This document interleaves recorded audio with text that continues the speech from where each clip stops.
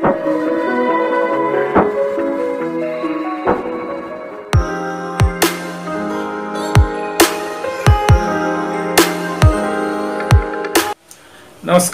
आप देख रहे हैं बलिया लाइव। हम मुखातिब हैं वरिष्ठ कहानीकार और कलकत्ता से प्रकाशित जनसत्ता अखबार से लंबे अरसे तक जुड़े रहे वरिष्ठ पत्रकार विनय बिहारी सिंह बिहारी सिंह जी से। विनय बिहारी जी बलिया के सुखपुरा गाँव के मूल निवासी हैं। और हम इनके दमदम स्थित आवास पर आज इनसे बातचीत करने के लिए पहुँचे हुए हैं। हम इनसे जानना चाहते हैं बंगाल में बलिया वालों की क्या भूमिका रही है। विनय बिहारी जी। देखिए, बलिया के बिना कलकत्ता अधूरा है, ऐसा मैं शुरू से मानता रहा हूँ। देखिए, अगर अगर आप अपने इतिहास में जाएँ तो पहला नाम मंगल पांडे का आता है जिन्होंने क्रांतिकारी भूमिका अदा की। और मंगल पांडे के बिना स्वतंत्रता संग्राम अधूरा है ये तो आप मानेंगे। तो मंगल पांडे बल, तो बलिया की भूमिका वहीं से शुरू होती है बल्कि उसके पहले शुरू होती है लेकिन मैं मंगल पांडे से शुरू कर रहा हूँ। और उन्होंने क्या किया ये बताने की ज़रूरत नहीं है। मंगल पांडे पर फ़िल्म बनी और मंगल पांडे पर जितना कुछ लिखा जा रहा है वो कम है। मंगल पांडे उससे ज़्यादा है। गणेश प्रसाद को बहुत कम लोग जानते होंगे।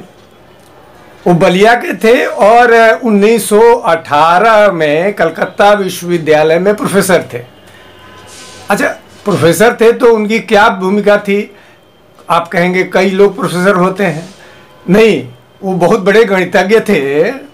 और देखिए कि कलकत्ता मैथमेटिकल सोसाइटी के के सदस्य थे। चार साल के लिए वो बनारस गए और वहाँ भी उन्होंने बनारस मैथमेटिक सोसाइटी बनाई। तो गणेश प्रसाद की यह महत्वपूर्ण भूमिका थी। बहुत बड़े गणितज्ञ कहाँ के रहने वाले? तो बलिया के रहने वाले। परशुराम चतुर्वेदी संत साहित्य के परम मर्मज्ञ। उन्होंने संत साहित्य के बारे में जो थाती दी है हम लोगों के लिए, विस्मर अविस्मरणीय है। सारे संतों के बारे में कई पुस्तकें लिखी और अद्भुत शोध किया। दूसरे, भैरव प्रसाद गुप्त एक नाम के बहुत साहित्य बड़े साहित्यकार हुए हैं। उन्होंने भी बलिया से उनका भी बहुत करीबी रिश्ता रहा है और उन्होंने बहुत सारी ऐसी चीज़ें लिखी हैं जो खोज के पढ़ी जाए तो हमारे लिए वो अमूल्य धरोहर के रूप में साहित्यकार और कलकत्ता और बनारस हिंदू विश्वविद्यालय के प्रोफेसर हजारी प्रसाद द्विवेदी वो बलिया के रहने वाले थे। बलिया के मेरे गाँव सुखपुरा में उनकी ससुराल थी और हमारे मेरे पिताजी मंगला प्रसाद सिंह कह रहे थे कि एक बार वो बाज़ार जा रहे थे उधर से अजय प्रसाद द्विवेदी एक हांडी में मिठाई लिए हुए चले आ रहे थे। उन्होंने पूछा कि यमुना पांडे का घर किधर है? वहीं उनकी रिश्तेदारी थी। पिताजी ने बताया रास्ता बता दिया।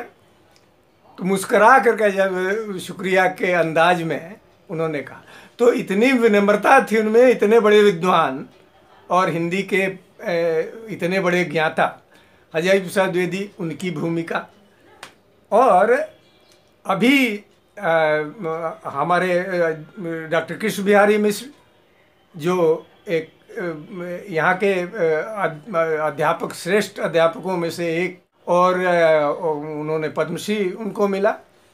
और फिर भी वो इतनी विनम्रता से और इतनी आत्मीयता से माटी के लोगों से और अन्य लोगों से भी मिलते हैं कि कि आप चकित रह जाएँगे। राम व्यास पांडे, उन्होंने मणिमय का संपादन किया, मणिमय पत्रिका का संपादन किया और ऐसे ऐसे उन्होंने, ऐसी ऐसी चीज़ें छापी कि लोग चकित थे। संस्कृति पर, साहित्य पर, कविता पर, कहानी पर, और लोक मान्यताओं पर, और सामाजिक संबंधों पर। वैसे एक पंडित राम दहीन ओझा के बारे में तो नई पीढ़ी बिल्कुल भूलने ही लगी है। उसे नहीं पता कि पंडित राम दहीन ओझा का व्यक्तित्व क्या था और उनसे कैसे प्रेरणा ली जा सकती है। वो बलिया के पहले पत्रकार थे। मुझे लगता है कि देश के गिने चुने पत्रकारों में थे जो आज़ादी की लड़ाई में शहीद हुए। वो पहले व्यक्ति थे। बलिया के तो पहले व्यक्ति थे, ऐसे पहले पत्रकार थे। वे साप्ताहिक युगांतर के संपादक थे और जब उनकी मृत्यु हुई तो वो तीस साल के थे। बलिया के बांसडी के रहने वाले थे, जो एक तहसील भी है और वो गांधी जी के असहयोग आंदोलन में वो थे और उनको गिरफ़्तार कर लिया अंग्रेज़ों ने। और उस समय ये बात बहुत जोरों पर दी कि जेल में उन्हें जहर दिया गया। धीमा जहर दिया गया। बलिया के ही चकिया के रहने वाले भारत के श्रेष्ठ कवि केदारनाथ सिंह जी हैं। तो उनकी उनकी कृति अकाल में सारस और उनको साहित्य अकादमी पुरस्कार मिला, उनको ज्ञानपीठ पुरस्कार मिला। तो बलिया में तो रत्न, रत्नों की खान है बलिया तो। ये थे विनय बिहारी सिंह जी और मैं विजय शंकर पांडे। धन्यवाद।